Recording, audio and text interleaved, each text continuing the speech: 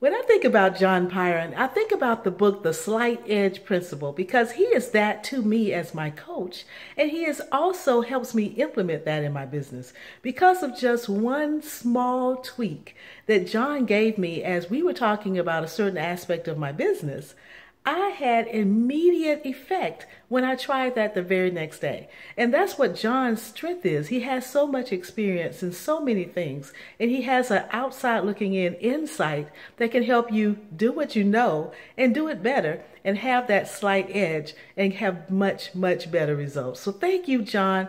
I love what you do with me, and I love who you are and what you bring to the business. Thank you.